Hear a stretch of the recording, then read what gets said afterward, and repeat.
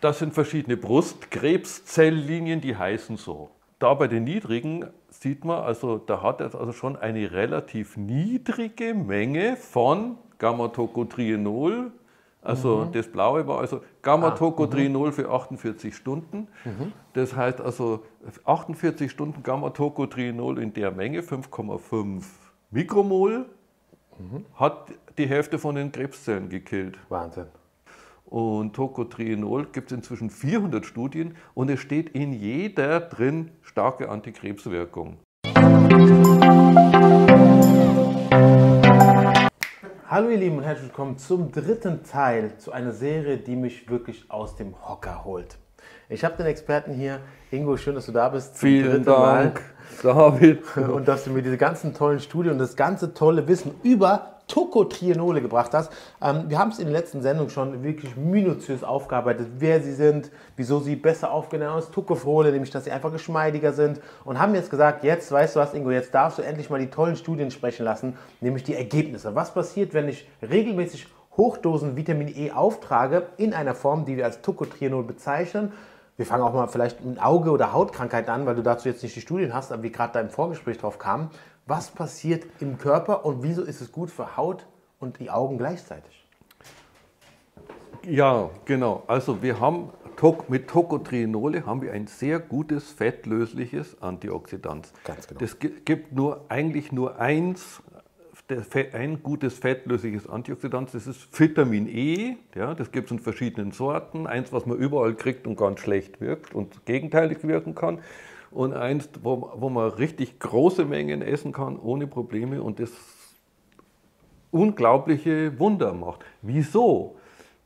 Fragt man sich. Ja, gut, aber einfach viele verschiedene Zellen gefragt sind. Und dann, weil du die Geschichte mit dem die Geschichte mit dem Auge habe ich dir erzählt. Nee. Habe ich dir noch nicht genau. erzählt.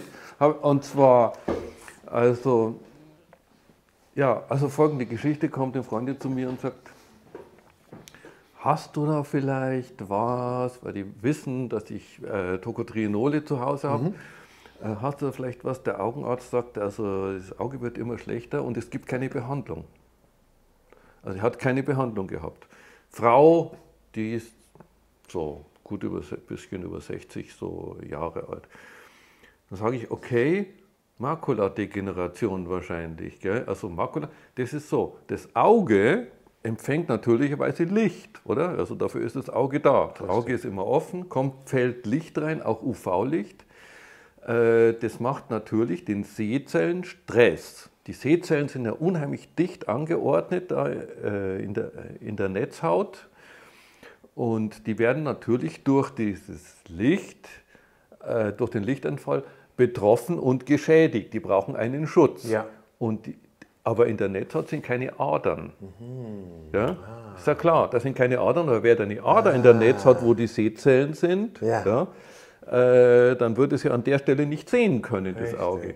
Also funktioniert es so, der Augenhintergrund, ja, der ist durchblutet und das Antioxidant, also das Vitamin E, muss durch Diffusion, das muss da so einfach durch das Gewebe. Ja. So, und das können die Tocotrienole sehr gut. Weil sie so beweglich sind? Tocotrienole ideal, weil genau. die sich sehr gut durch Gewebe durchbewegen 40 können. 40 bis 60 Mal werden die so gut aufgenommen wie das normale Tocopherol. Das heißt, es ist wirklich wieder eine neue Technologie quasi, die uns zur Verfügung steht, um neuzeitlichen Problemen auf den Grund zu gehen. Mhm. Ja, genau, und voll natürlich. Es ist in vielen Ölen ist es drin, manchmal ausschließlich, manchmal nur so als Beiwerk und so.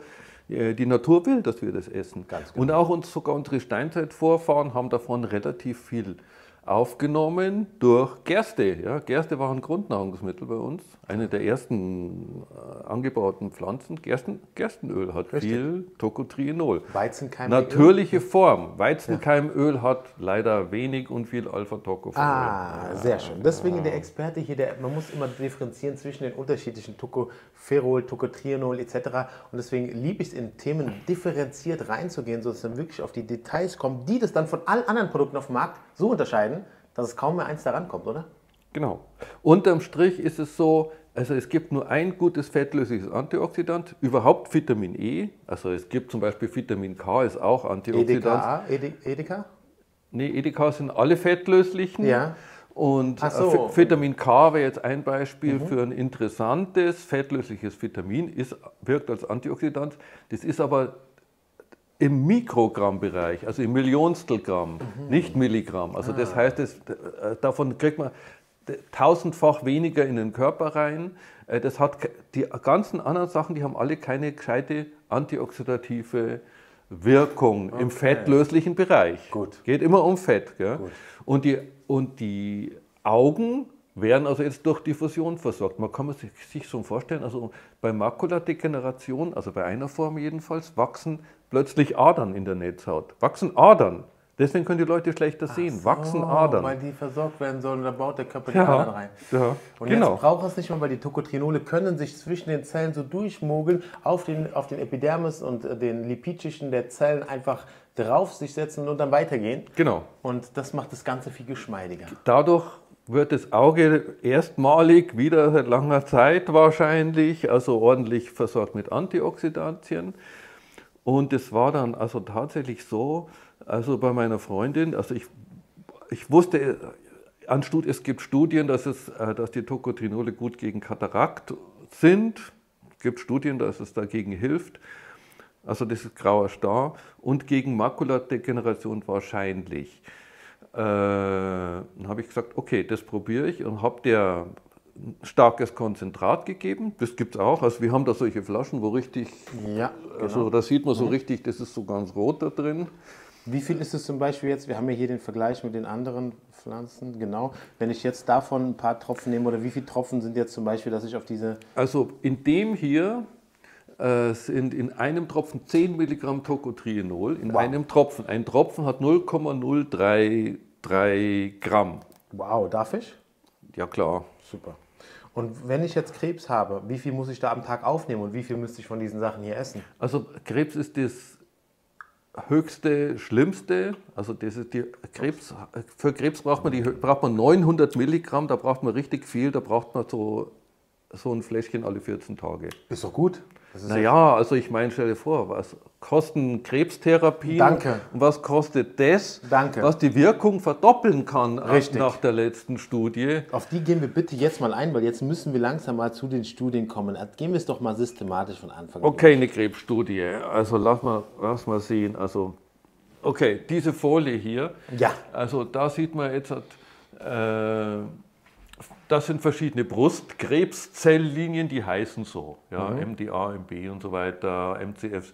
Also das sind äh, Kulturen von Krebszellen, an denen man testet, wie stark irgendwelche Mittel, die die hemmen sollen, wirken. Und äh, da bei den niedrigen sieht man, also da hat es also schon eine relativ niedrige Menge von Gamma-Tocotrienol. Also das Blaue war also Gamma-Tocotrienol für 48 Stunden.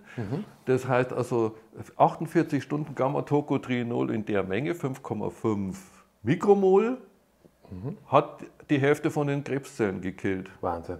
Ja, also 48 Stunden. das heißt, und deswegen findet man auch in jeder Krebsstudie, und es gibt, wenn man eingibt in, in der, in der Forschungs, unter den Forschungspublikationen Cancer und Tocotrienol gibt es inzwischen 400 Studien und es steht in jeder drin starke Antikrebswirkung. Also wenn es darum geht, also auch nur darum, äh, ich möchte keinen Krebs bekommen, bitte. Ja, also ich meine, Präventiv, ja. also das kann man ruhig präventiv nehmen, weil das ist ungiftig. Im Gegenteil, das ist sogar in ganz anderen körperlichen Bereichen extrem essentiell und sollte sowieso genommen werden. Genau, für viele andere, viele, andere Zwecke. Ganz genau. Aber ich habe dir jetzt immer noch die Story mit den Augen vorenthalten. Ah, weil, weißt du, darf ich die noch zu Ende Dann führen? erzähl die noch zu Ende. Also äh, die Story mit den Augen ging also so, ich habe dir also äh, eine Krebsdosis, also eine sehr hochdosiertes, das hier empfohlen und den Roller. Ja, also wir haben ja auch die Tocotrienole zum Aufrollen, so, also hier diesen, äh, diesen Roller hier, ums Auge rum, Ah, das dam- da weil das auch von, damit es auch von außen Super. äh, funktioniert. Das beides habe ich ihr gegeben. Ja, und das hat dann ein paar Monate gedauert. Dann hat sie gesagt, ja, sie weiß noch nicht. Und sie sagt, sie muss jetzt dann, auf einmal ruft sie an und sagt, ich war beim Augenarzt. Äh, ich kann jetzt zwei Tafeln mehr sehen. Zwei Tafeln. Ja, verstehst du, wenn die Tafeln, Zahlen der da. sieht immer kleiner, immer kleiner. Ja, ja, Das hat mich glücklich gemacht. Wahnsinn. Herzlichen Stell Glückwunsch. dir mal vor, also du kannst mit sowas so tolle Sachen bewirken. Absolut. Äh, das ist das eigentlich Schöne, äh, wenn man sich mit diesen Sachen beschäftigt, dass man damit wirklich was Gutes machen kann. Und ohne was kaputt zu machen. Richtig. Im Gegenteil, um gleichzeitig noch andere Sachen zu Ja, verbessern. ja, genau. Fantastisch. Und zwar, also jetzt, wir- waren jetzt noch, noch bei Krebs. Genau. Also Hast du da noch eine Studie? In der, in der Eingangs, äh, in der Eingangs, ja, also es gibt 400 Studien. Ja. Und wirklich interessant sind klinische Studien, also mit Menschen. Äh, Und das, äh, das gibt dann, äh, vor vor ein paar Jahren kam eine raus, wo Menschen, die eine Krebssorte haben, wogegen es die keine Chemotherapie, also keine andere Behandlung gibt, ja, dann haben die, dann haben die denen äh, Tocotrienol in einer bestimmten Menge gegeben, nämlich 400 bis 600 Milligramm am Tag.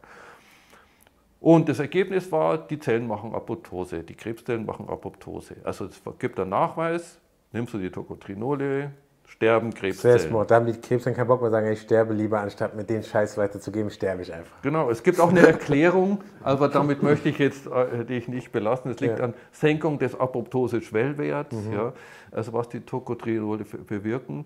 Äh, und deswegen wirken die auch synergistisch mit Chemotherapie. Und das war jetzt die nächste klinische Studie.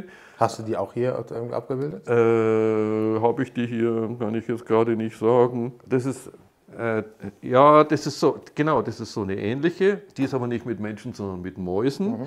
Also in, äh, in diesem Bild hier siehst du, also da gibt es jetzt Mäuse, die kriegen Vehikel, das ist die Kontrollgruppe. Okay.